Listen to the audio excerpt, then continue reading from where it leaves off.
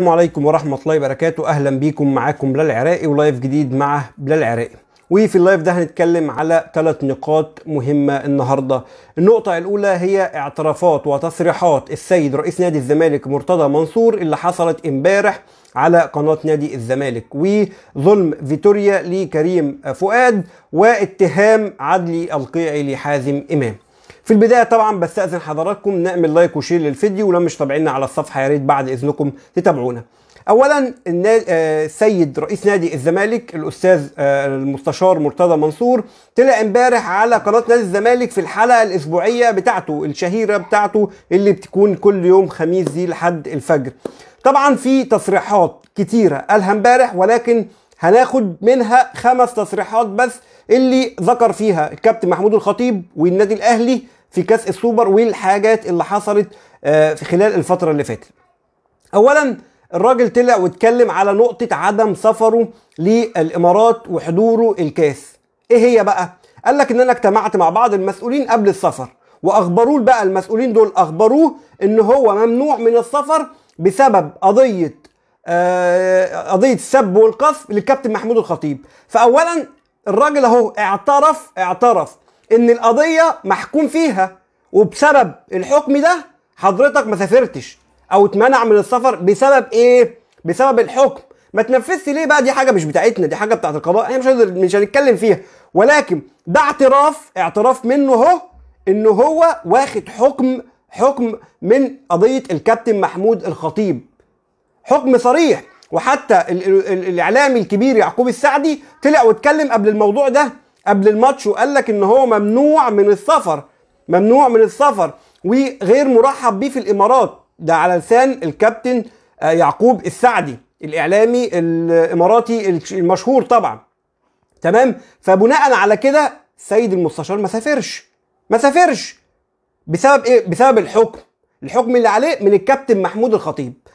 ماشي؟ تمام؟ نيجي بقى هو قال لك إيه؟ قال لك إن أنا استقبلت الخبر ده كالصاعقة. والراجل تعب و...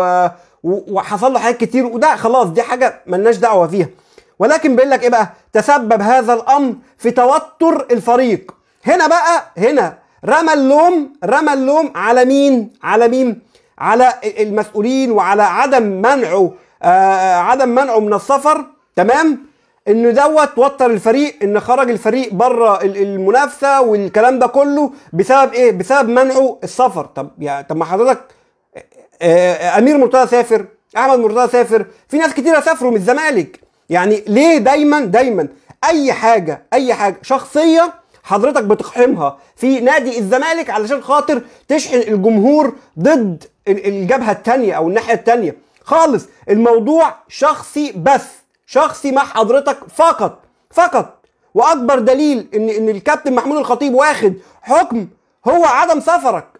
ده أكبر دليل يا جماعة إن الكابتن محمود الخطيب واخد حكم رسمي. عدم تنفيذه دي مش بتاعتنا دي مش بتاعتنا. وبالنسبة بقى ليه بيقول لك بص بقى بص بقى الحتة اللي جاية دي أو التصريح اللي جاي ده بقى ده حاجة بقى تفكرك بزمان تفكرك بأيام السحر والشعوذة اللي كان بيطلع لنا بيها. هناك مؤامرة أيضا تتمثل في الإصرار على إقامة المباراة على ملعب هزاع بن زايد اللي خسرنا عليه مرتين قبل كده. طب إيه المشكلة؟ إيه المؤامرة؟ حضرتك عارف عارف واللجنة المنظمة في الاتحاد الإماراتي المنظمة لكأس السوبر أول ما خدت الحقوق التنظيم دوت أعلنوا إن هزاع بن زايد هو اللي هيقام عليه الماتش. حضرتك جاي تتكلم امبارح بعد ما خسرت إن دي مؤامرة. مؤامرة إيه؟ يعني دي مؤامرة إيه؟ عشان خاطر هو خسر قبل كده مرتين على نفس الاستاد. على نفس الاستاد خسر مرتين من الأهلي ودي الثالثه فاذا هو قال لك إن دي مؤامرة. مؤامرة ليه؟ ما حضرتك عارف قبلها. ليه ما اتكلمتش قبلها إن هي مؤامرة؟ ليه ما قلتش؟ هم الإماراتيين هيتأمروا علينا ليه؟ أو النادي الأهلي هيروح يربط مع حد هناك ليه؟ على أساس إيه؟ فاولا تصريح ربطوا طبعا بالمؤامرة وما ينفعش وإحنا رحنا الملعب ده وخسرنا عليه قبل كده. يعني الأهلي عامل سحر هناك مثلا. يعني الزمالك معمول له سحر على رجل نملة هناك. مفيش الكلام ده. مفيش نيجي بقى للتصريح. الثالث وهو إيه؟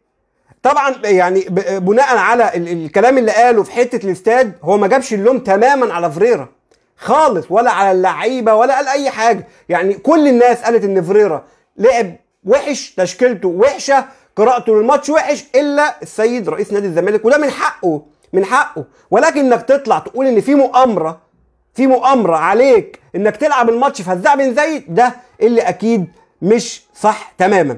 نيجي بقى للحاجه الثالثه أو التصريح الثالث اللي قاله سيادة المستشار. جمهور الزمالك العظيم أتحمل من أجله أي شيء لكنني لن أعتذر لأي شخص لم أخطئ في حقه. هو حضرتك أصلا محدش طلب الاعتذار.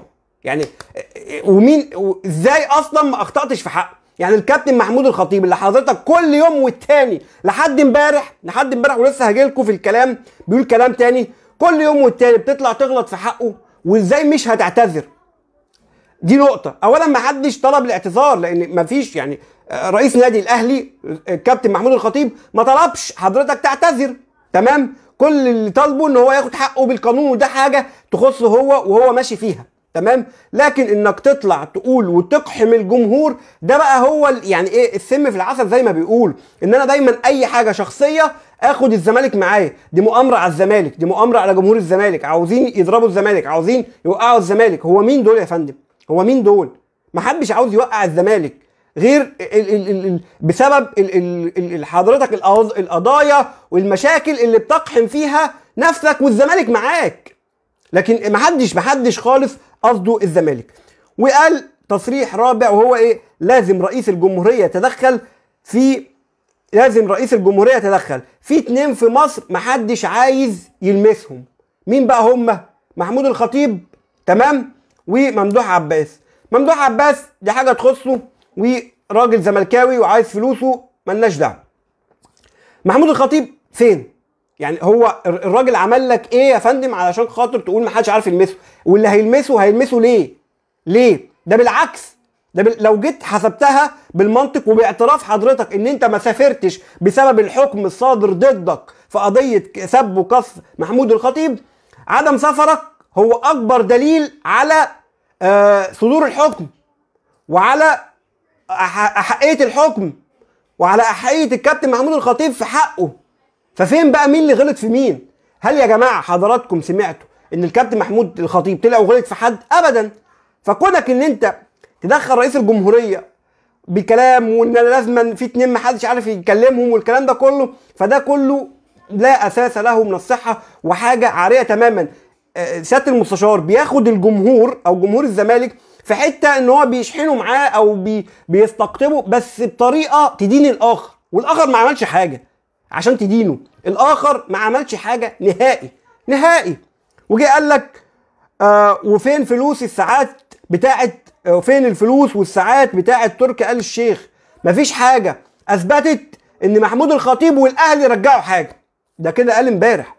يعني الراجل لما طلع المتحدث الرسمي باسم صندوق تحيا مصر ودي يعني إحنا عارفين صندوق تحيا مصر صندوق سيادي. مفيش حد يجرؤ في مصر انه يطلع يتكلم ويقول أنا المتحدث الرسمي غير لما يكون فعلا هو المتحدث الرسمي. لما طلع في الإعلام وأثبت فعلا وأثبت إنه هو النادي استلم من النادي الأهلي كل متعلقات تركي الشيخ وكل هدايا آه السيد تركي الشيخ اللي كان آه آه بعتها للنادي الأهلي كلها راحت لتحيا مصر. وفي جواب من تحيا مصر بذلك النادي الأهلي مطلعه وحضرتك تطلع تشكك في ده كله. يعني ده تشكيك أصلا في الدولة. تشكيك أصلا في أكبر يعني منظمة في البلد يعني صندوق تحيا مصر. ده صندوق سيادي. صندوق سيادي. مفيش حد يجرؤ إنه يطلع يتكلم باسمه. فإنك تطلع برضه وتلوح لفكرة الساعات ويرجع الساعات يا خطيب ومفيش حاجة أثبتت والحوار والنغمة الحمضانة دي نرجع نكررها تاني فده شيء مش محمود تماما ومش مقبول. مش مقبول على الوجه خالص خالص. ولا اخلاقيا ولا ادبيا ولا أي حاجة. الراجل قفل لك الموضوع ده طلع النادي الأهلي مطلع جواب. المتحدث الرسمي باسم صندوق تحيا مصر طلع واتكلم وأثبت. طب حضرتك نثبت لك إزاي؟ نثبت لك إزاي؟ وفي الآخر طب حضرتك أصلا يعني معلش حضرتك أنت مالك؟ أو دي فلوس آه المستشار تركي آل الشيخ. تمام؟ وحقه. وطلب حاجة معينة إن تروح لتحيا مصر وراحت خلاص والموضوع اتقفل. الراجل نفسه ما بيتكلمش فيه وساب الجمل بمحمل ومشي. حضرتك ليه دايما بتقحم الأمور دي تاني وبتهيج الدنيا من اليمة دي تاني؟ ليه؟ ليه؟ ليه؟ أنا أقول لك لأن عايز جمهور النادي الأهلي يطلع يغلط في الراجل ويجيب فيه والكلام ده كله علشان يستقوى بيه. فده ده غلط. ده غلط. لو في حد في مصر محدش بيلمسه فهو حضرتك. حضرتك. من بابه تلت لأن حضرتك عليك حكم قضائي بسب وقصد محمود الخطيب وحتى الآن ما تنفذش. فمين بقى؟ وعلى إثره وعلى سببه حضرتك ما سافرتش تحضر مباراة رسمية لناديك في الإمارات لأنك ممنوع من السفر. فليه؟ ليه دايما بتدخل الخطيب والساعات والكلام ده كله؟ طب لو جيت بقى تحسبها وبلسان حضرتك رئيس نادي الزمالك طلع وقال إن الزمالك فلس معهوش فلوس. الزمالك مفيش فيه فلوس. طب إزاي جددت الفيزو بالمبلغ ده كله؟ بما يقرب من 80 90 مليون. وإزاي إمام عاشور خد وعد بعد ما حصل مشاكل الفترة اللي فاتت؟ طبعا ما اتكلمناش فيها لأن ما تخصش النادي الأهلي أو ما تخصناش بمعنى أصح. فإزاي خد وعد بأنه هيتعدل له عقده؟ إزاي؟ وحضرتك امبارح بتقول إن عمال وموظفي النادي مفيش فلوس في الخزنة عشان أقبضه. يعني إيه التناقض ده؟ إيه التناقض ده؟ ممكن بقى حد يطلع يتكلم ويقول طب فين منين الفلوس اللي حضرتك جددت بيها للعيبة؟ وفين الفلوس اللي مش راضيه تدفع للموظفين؟ ففين بقى؟ فين؟ في في تناقض رهيب. إزاي ما فيش فلوس؟ وإزاي لعيبة بيتجدد لها بأرقام فلكية ولعيبة تانية بتتوعد إن هي هيتجدد لها وهيتعدل لها عقدها زي إمام عاشور وزي فتوح وزي الناس دي كلها. إزاي؟ إزاي؟ لأن اللي حصل مع زيزو أكيد هيضر ضرر كبير مالي لنادي الزمالك.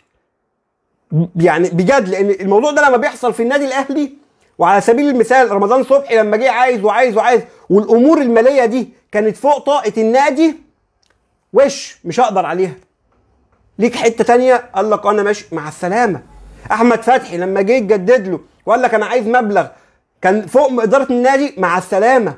لكن اللي حضرتك عملته مع زيزو هيخلق مشاكل كتير جدا في أوضة الملابس. تمام؟ ففين بقى إن هو مفيش مفيش فلوس في النادي ومن ناحية تانية آه مفيش آه في تجديد للعيبة والكلام ده كله.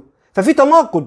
فدي كلها تصريحات على قد ما هي آه تدين حضرتك وتدين آه رئيس نادي الزمالك واعترافات في نفس الوقت اعترافات في نفس الوقت بالمشاكل داخل نادي الزمالك وسببها هو رئيس نادي الزمالك هو اللي بيخش مشاكل كتير هو اللي بيجيب أسماء ناس وبيفضل يقحمهم ويتكلم وفي الآخر يصدر للجمهور وجمهور الزمالك إن لأ آه الناس دي عاوزة تضر الزمالك. يعني مين هو مين ليه دعوة بالزمالك؟ من إمتى؟ ومحمود الخطيب عاوز يضر الزمالك. كان ضره قبل كده إمتى؟ كان ضره إمتى؟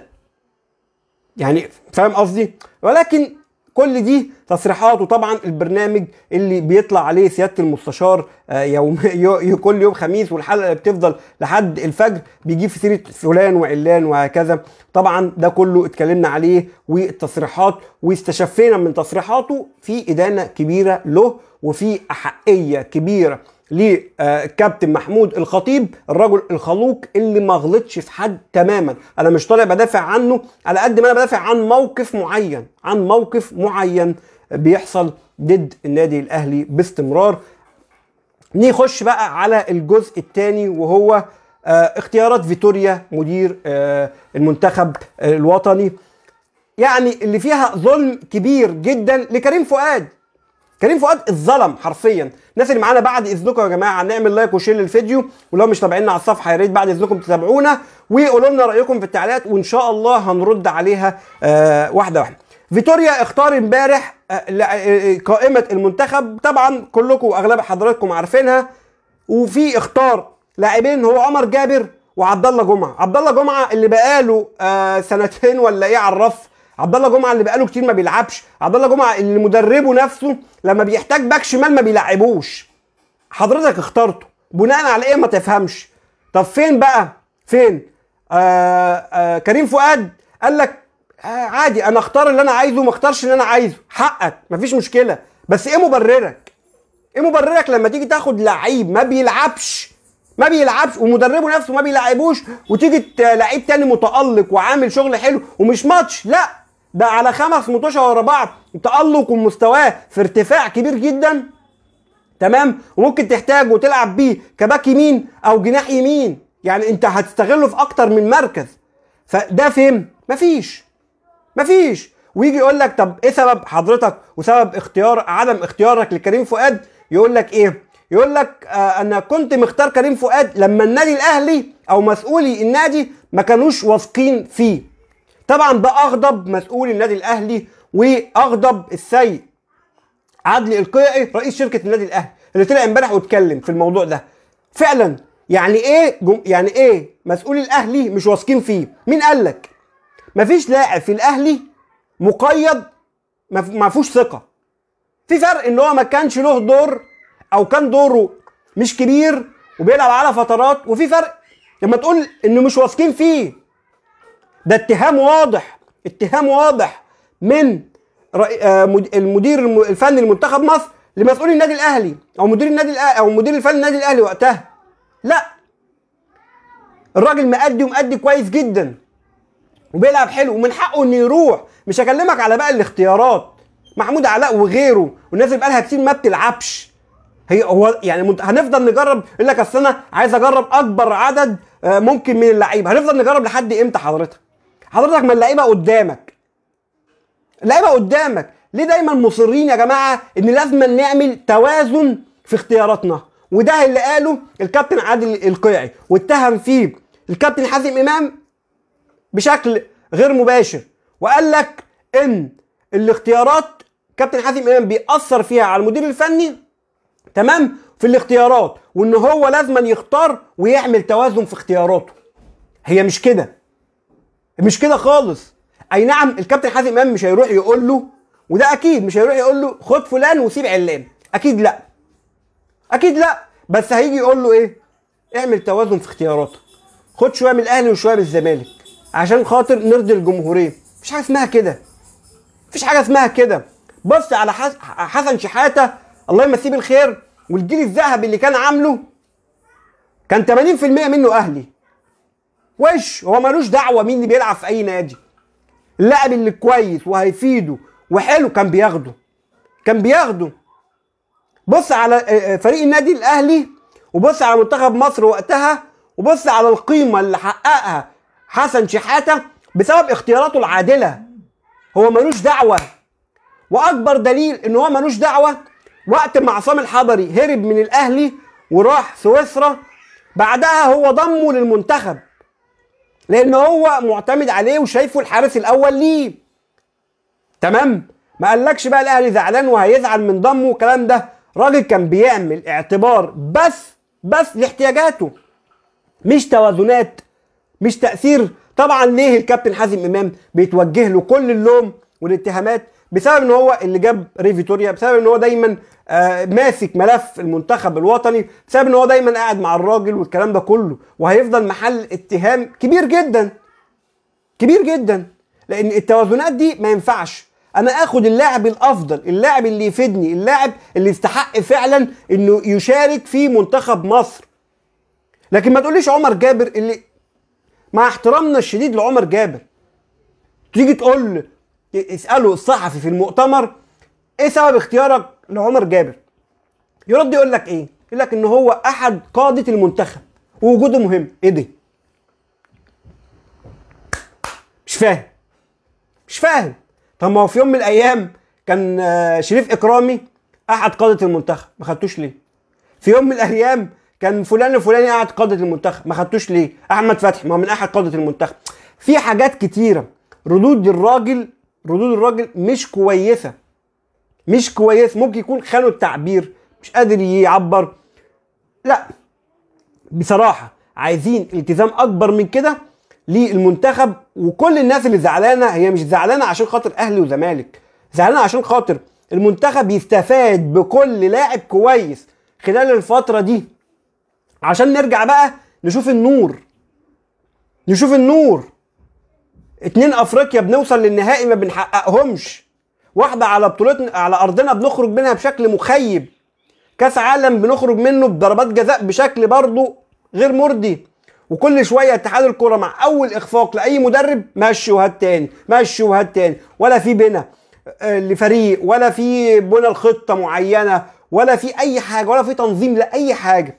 فالكلام ده أثر بالسلب على الجمهور وعلى متابعته للمنتخب ومؤازرته للمنتخب في الفترات اللي فاتت ديت. ما شفناش الشغف الكبير من يمة الجمهور للمنتخب. بسبب إيه؟ بسبب كل الأمور دي. بسبب اتحاد الكورة وعدم آه، ترتيب وعدم الخطة.